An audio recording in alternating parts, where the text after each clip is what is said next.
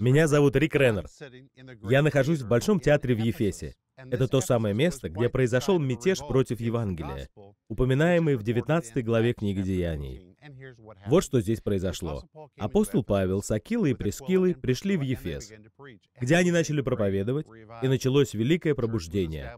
Была основана церковь, явлены чудеса, знамения. Со всех концов города приходили язычники. Услышав проповедь о Христе, они каялись. Библия четко говорит нам в 19 главе, что они начали каяться в своих злодеяниях и чародействе, которое подразумевало поклонение идолам. Идолы, подобные этому, являлись небольшими изваяниями, сделанными в честь Артемиды, считавшейся верховной богиней в Ефесе. И когда люди стали отрекаться от своих идолов, это сказалось на производстве и продаже статуэток для поклонения. Изготовители идолов очень разозлились, потому что все это влияло на их процветание. И они собрались в этом театре. Театр был рассчитан на 24 тысячи человек. Люди заполнили его полностью. Это говорит нам об огромном количестве производителей идолов, живших в этом городе. 24 тысячи ремесленников собрались, чтобы устроить мятеж против проповеди Евангелия. И Библия говорит, что они начали кричать «Велика Артемида Ефесская!» И шум, очевидно, стоял невероятный. Но на самом деле это были предсмертные стоны умирающей религии, которая была поражена проповедью Евангелия. Произошедший в тот день мятеж застал апостола Павла и его друзей врасплох. Это было внезапное нападение, которого они совсем не ожидали. Казалось, они обречены на поражение, но они отразили эту атаку. Церковь продолжила расти. Христиане пережили то нападение, и вы также преодолеете все, что дьявол пытается обрушить на вас. Он может пытаться атаковать вас внезапно, но у вас есть Дух Святой, который ведет и направляет. Вы пройдете через трудности. Бог обратит все во благо, а имя Иисуса в конечном итоге будет прославлено. И об этом я хочу поговорить с вами сегодня. Добро пожаловать на сегодняшнюю программу с Риком Реннером. У пастора Рика есть для вас послание, которое вдохновит вас, укрепит и снарядит важными знаниями и глубоким пониманием Божьего Слова. Я так рад сегодняшней встрече с вами. Мы продолжим говорить о том, как отражать внезапные нападения. Дьявол охотится на вас. Он желает отнять у вас деньги, нападает на вашу семью, на ваш брак. Он ненавидит вас. Он ненавидит всех. Он желает принести гибель. В Евангелии от Иоанна 10.10 10 Иисус говорит, что вор приходит только чтобы украсть, убить и погубить. Поэтому нас не должно удивлять, что дьявол хочет вторгнуться в нашу жизнь и нанести удар, застав нас врасплох.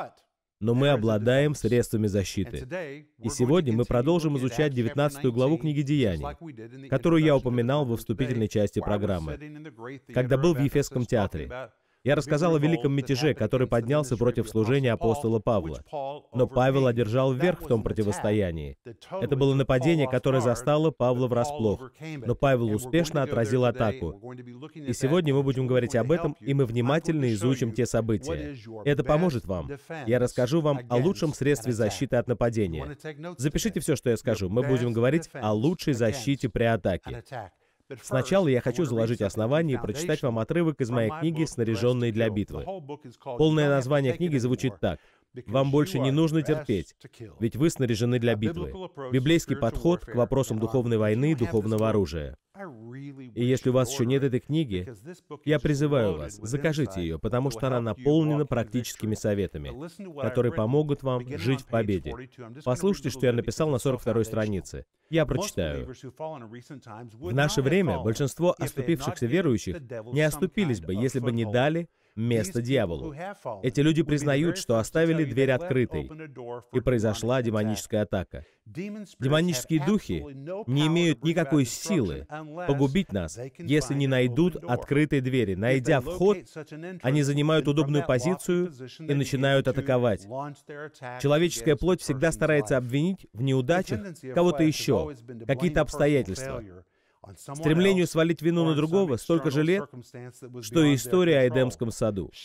Но вы не можете винить кого-то за свои ошибки. В этом нельзя обвинить демоническую атаку. Ведь чтобы атака была успешной, вы каким-то образом сотрудничали с врагом. Вы осознаете эту истину, и ваша жизнь меняется. Вы можете сотрудничать с противником подсознательно, преднамеренно или по пренебрежению, отказываясь навести порядок в некоторых сферах своей жизни, зная, что в них есть что-то неправильное. Например, вы можете говорить, что дьявол хочет отнять у вас деньги, но если вы не следите за своими финансами, если вы безответственно относитесь к оплате счетов, то именно вы открыли дверь для демонической атаки. Или вы можете утверждать, что враг пытается атаковать ваше здоровье. Но если вы плохо следите за здоровьем, за своим телом, неправильно питаетесь, работаете на износ, Используйте тело за пределами возможностей, вы сами открываете дверь для атак на свое здоровье. Вы также можете говорить, что ваш брак подвергся нападению. Но если вы позволяете себе грубо разговаривать с супругой или супругом, не проводите время вместе, не ставите свою семью на первое место, то вы сами открываете дверь, и враг приходит и разрушает семью. Список можно продолжать. Послушайте, что написано на следующей странице. Это очень важно. Большинство атак и трагедий можно было бы избежать. Например, Многие трагедии случаются, потому что мы открываем дверь для врага своей злостью, горечью, гневом, медлительностью. Нападения с проникновением через открытую дверь реальны. Но демонические духи не смогут навредить, если... Послушайте внимательно. Демонические духи не могут навредить, если в жизни человека уже нет сферы, за которую они могли бы ухватиться и обратить ему во вред. В жизни апостола Павла не было такой сферы. Дьявол не мог использовать ничего, чтобы уничтожить его.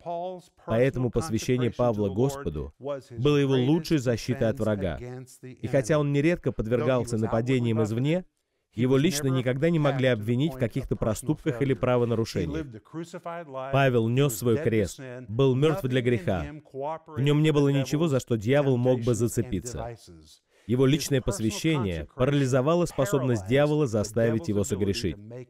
Изучая жизнь Павла, мы можем прийти к заключению, что дьяволу очень трудно, да практически невозможно уничтожить человека, жизнь которого освящена Богом и посвящена Ему.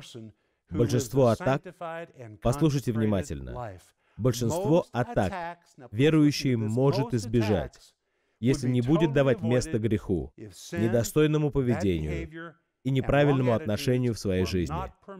Ваше личное посвящение — ваша лучшая защита.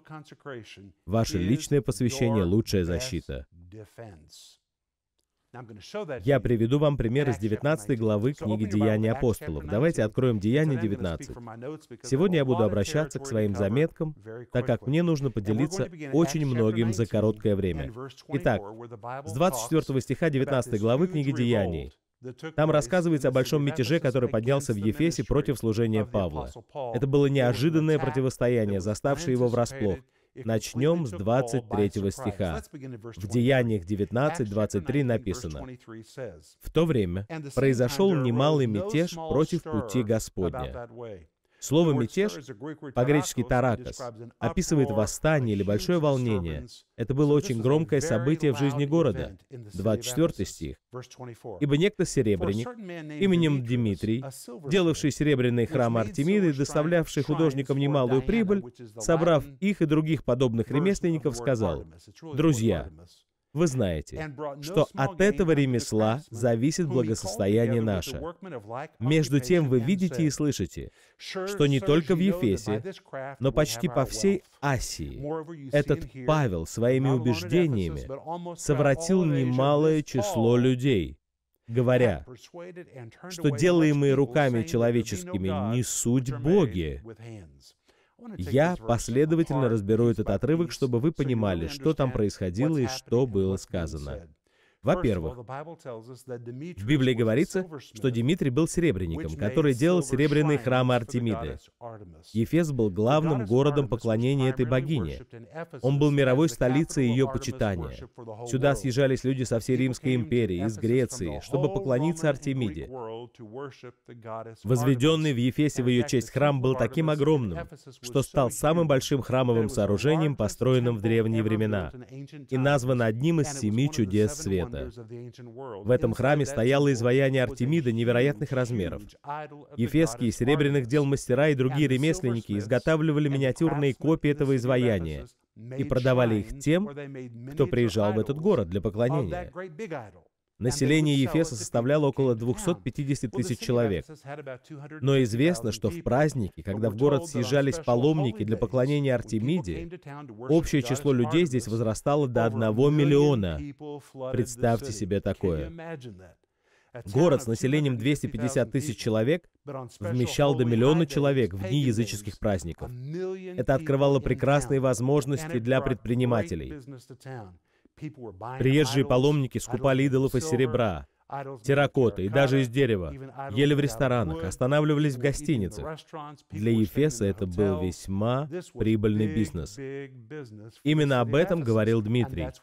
Некто, серебряник, именем Дмитрий, делавший серебряные храмы Артемиды и доставлявший художникам немалую прибыль, собрав их и других подобных ремесленников, всех тех, кто делал идолов, сказал, «Друзья, вы знаете, что от этого ремесла зависит благосостояние наше. Слово «благосостояние» — греческое слово, означавшее способность путешествовать.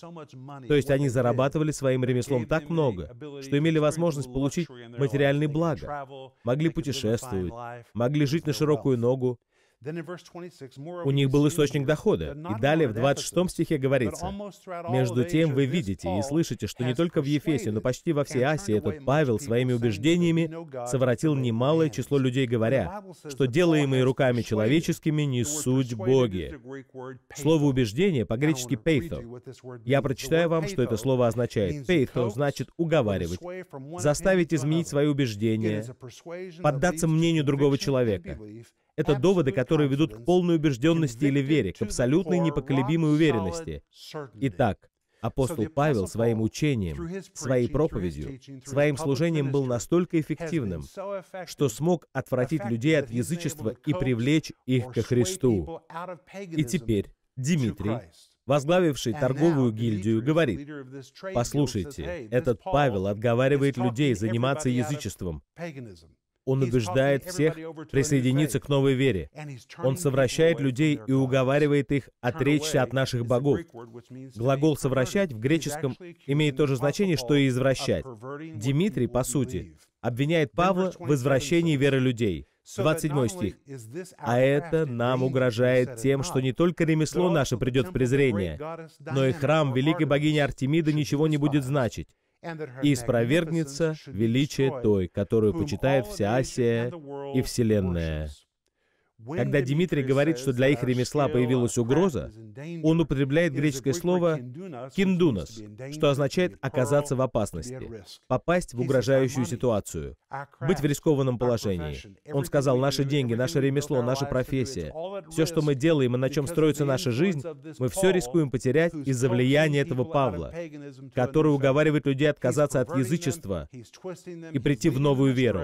Он извращает нравы, обманывает, вводит в заблуждение, более того, того, наше финансовое состояние в опасности. Он сказал, ремесло наше придет в презрение. Интересно, выражение «прийти в презрение» означает быть тщательно проверенным и отвергнутым после этой проверки. Другими словами, он сказал, этот Павел весьма убедителен.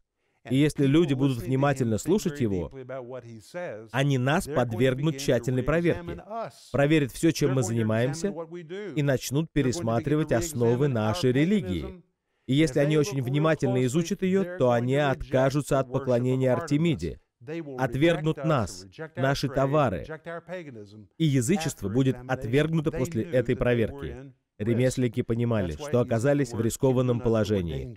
Вот почему Дмитрий сказал «киндунос», что значит быть в опасности.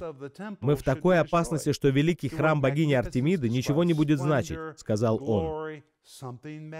Слово «великий» также означает «великолепный», «славный», «величественный». Напомню, что храм Артемиды был величественным строением, самым большим храмом в древнем мире за всю его историю, одним из семи чудес света. Он поражал своим великолепием.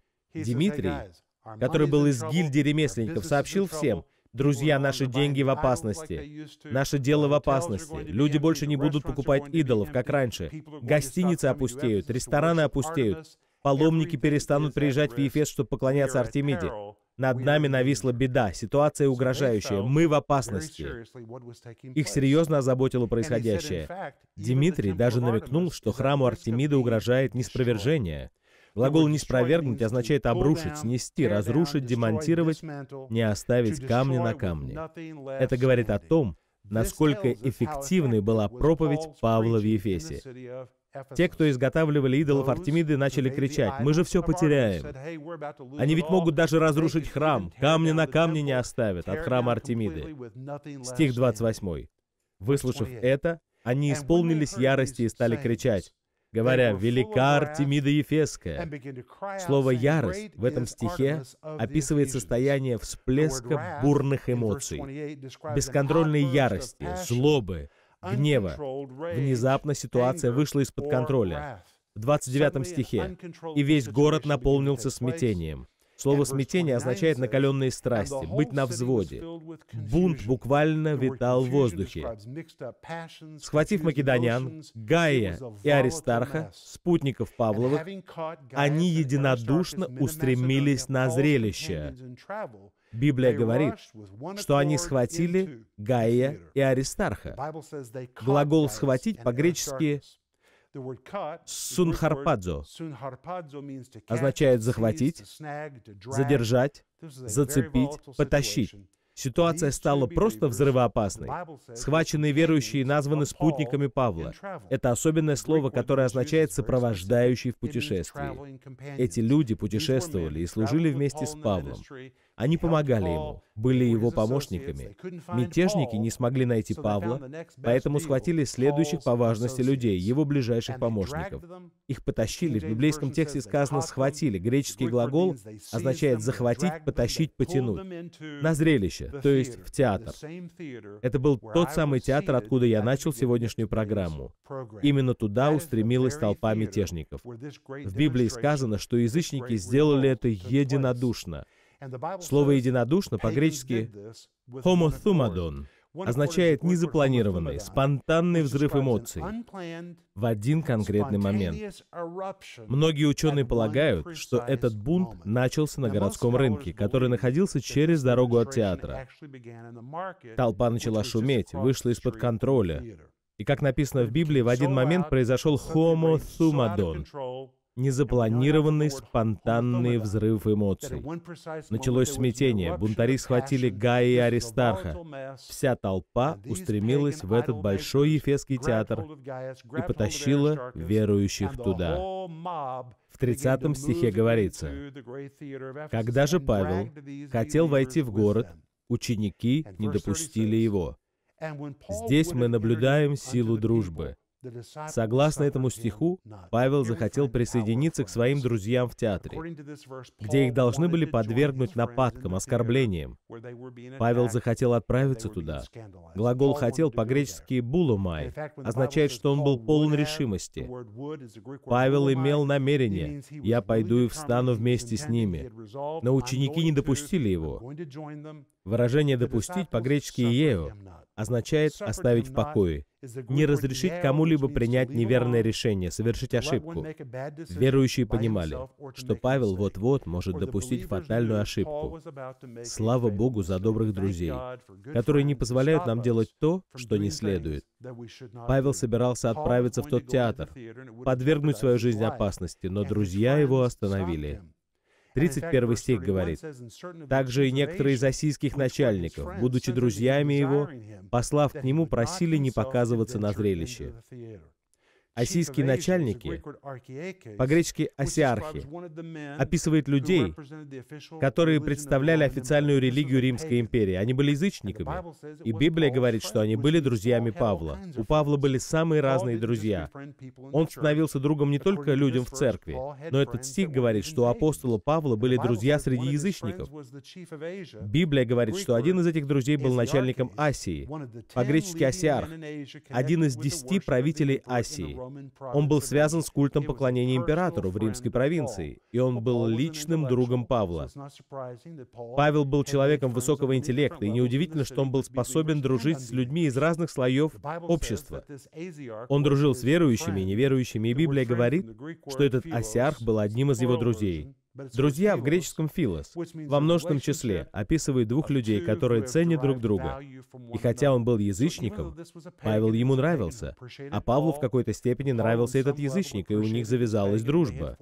В Библии сказано, что этот человек был одним из тех, кто просил его не показываться на зрелище. Просил по-гречески «паракалео», указывает на то, что он умолял Павла, заклинал его, советовал ему и даже дал юридическую консультацию. Не делай то, что хочешь делать. Друзья просили Павла не показываться на зрелище, и он их послушал. В 32 стихе повествование продолжается. «Между тем одни кричали одно, другие другое, ибо собрание было беспорядочное, и большая часть собравшихся не знали, зачем собрались. По предложению иудеев из народа вызван был Александр, и дав знак рукой, Александр хотел говорить к народу. Когда же узнали, что он иудей, то закричали в один голос все. И около двух часов кричали «Велика Артемида Ефесская!» Стих 35. Блюститель же порядка, утишив народ, Блюстителем порядка был представитель администрации города, занимавший самый высокий пост в иерархии чиновников Ефеса. Он сказал, «Мужи Ефесские, какой человек не знает, что город Ефес есть служитель великой богини Артемиды и Диапета?» Стих 36. Если же в этом нет спора, то надобно вам быть спокойными и не поступать опрометчиво. Теперь давайте послушаем 37 стих, потому что здесь он выступает в защиту Павла. «А вы привели этих людей, которые ни храма Артемида не обокрали, ни богини вашей не хулили, Выражение «обокрасть храм» в греческом языке использовалось для описания деятельности тех, кто грабил храмы, занимался разбоем в святых местах, кощунствовал.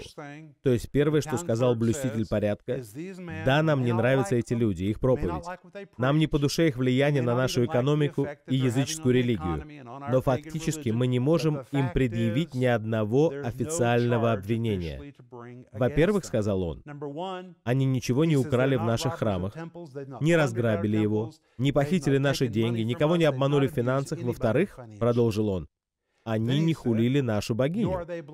Хулить по-гречески «бласфемео» означает говорить грубо, неуважительно, неучтиво. Это значит, что Павел не отзывался неуважительно об их лжерелигии. Павел просто проповедовал истину. Павел использовал интеллектуальный подход. Он пришел с силой Бога, но он никогда не оскорблял то, во что верили люди. Стих 38. Если же Дмитрий и другие с ним художники имеют жалобу на кого-нибудь, то есть судебные собрания, есть проконсулы. И потом в сороковом стихе он сказал, «Ибо мы находимся в опасности, за происшедшее ныне быть обвиненными в возмущении, так как нет никакой причины, которую мы могли бы оправдать такое сборище. Выражение «нет никакой причины» по-гречески «хайтеос» можно также перевести «нет повода», «нет преступления», «нет наказуемого правонарушения». Павел не сделал ничего неправильного. Он не совершил никакого преступления, никакого противоправного действия. Он не сделал ничего, что подлежало бы наказанию от рук собравшейся толпы.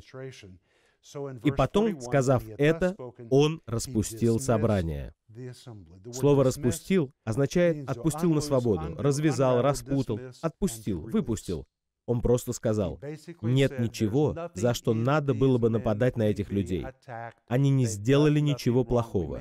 Даже если их проповедь нам не нравится, в них нет ничего, за что их можно было бы лично обвинить. Личное посвящение Павла и его друзей, их образ жизни, полное уважение и учтивости, репутация людей, которые никогда никого не обманули в финансовой сфере, вся жизнь и личное посвящение были для них лучшей защитой. Все обвинения рассыпались перед их безупречной репутацией. Точно так же и ваша праведная жизнь является лучшей защитой для вас. Когда враг выдвигает обвинения против вас, когда он пытается заклеймить вас, когда вас кто-то начинает обвинять, лучшей защитой будет ваша жизнь. Поэтому, если вы подверглись нападению, проанализируйте свою жизнь. Вы можете сказать, «В моей жизни нет ничего, за что дьявол мог бы зацепиться и обратить против меня». Очень важно знать, что ваша жизнь — это ваша лучшая защита. Ваша жизнь похожа на сражение? Вы побеждаете или отступаете? Благодаря книге Рика Реннера «Снаряженные для битвы» вы сможете одержать победу уже сегодня. Апостол Павел сказал, когда дьявол выступает против нас, мы должны быть готовы встать и сразиться с ним в духовной битве. Это означает, что вы должны быть полностью оснащены для сражения с врагом. Облекитесь в духовные доспехи и все оружие Божье. Нанесите врагу поражение. Будьте снаряженными для битвы. В книге «Снаряженные для битвы» пастор Рик отвечает на глубокие вопросы, разбирая места Писания о духовных сражениях, которые ранее неправильно истолковывались. На примере доспехов римских солдат проводится параллель с нашим снаряжением для духовных битв. Вникая в это всестороннее исследование, вы научитесь облекаться во всеоружие Божье и поймете важность положения каждой составляющей доспехов для победы над врагом. Из книги, снаряженной для битвы, вы узнаете, какое значение имеет духовное всеоружие, данное вам Богом. Кроме того, вы научитесь побеждать в духовной битве каждый день.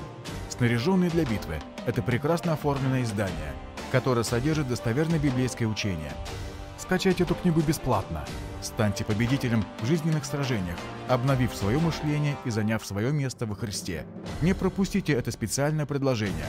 Прямо сейчас зайдите на сайт ignc.org и скачайте эту книгу бесплатно. Одержите победу в духовной битве уже сегодня. Меня зовут Джоэл Реннер. Я хочу выразить благодарность всем нашим партнерам, партнерам служения Рика Реннера. Ваша помощь меняет жизни бездомных детей. Москва — это город, принимающий более 20 миллионов человек. Здесь много нуждающихся детей, особенно тех, кто оказался на улице. Благодаря поддержке партнеров мы можем помогать Дому Милосердия оказывать влияние на бездомных детей в Москве. Дом Милосердия стал приютом для сотен таких детей. Его работа помогла спасти детей от улицы или других сложных ситуаций и дала им шанс изменить свою жизнь. Один из наших подопечных, Витя, был оставлен в квартире под присмотром собак, но ему была оказана помощь Дома Милосердия. Подобное явление называется синдромом Маугли, ссылаясь на персонаж из классической книги джунглей. Благодаря вашей поддержке и работе Дома Милосердия, Витя сейчас здоровый ребенок, который ходит в школу. Он восстановился после долгих лет духовной, эмоциональной и физической заботы своей любящей семьи. Это лишь один пример того, как Дом Милосердия помог сотням детей восстановить свою жизнь и исполнить свое предназначение. Все это возможно благодаря поддержке наших партнеров. Вы хотите стать партнером, чтобы мы могли продолжать влиять на жизни таких бездомных детей, как Витя? Есть множество детей, которые нуждаются в помощи Дома Милосердия. Вы можете позаботиться о них сегодня с помощью своего даяния. Для связи с нами воспользуйтесь контактами, указанными на экране. Любое ваше даяние поможет нам продолжить работу в жизни таких детей, как Витя. Без покаяния нет спасения. Христианину же готовность к покаянию нужна всю жизнь. Поэтому вы должны знать, что такое покаяние, чем оно не является и как его совершить. Это наш подарок вам. Мы хотим, чтобы эта замечательная книга была у вас. Мы убеждены, что она изменит вашу жизнь. Эта книга сейчас доступна для скачивания на сайте ignc.org в разделе «Книга в подарок». Спасибо, что посмотрели эту телепрограмму. Пастор Рик с нетерпением ждет встречи с вами на следующей неделе. Чтобы получить дополнительную информацию о материалах служения или узнать, как стать партнером служения, пожалуйста, свяжитесь с нами по контактам, которые видите сейчас на экране, а также присоединяйтесь к пастору Рику в социальных сетях.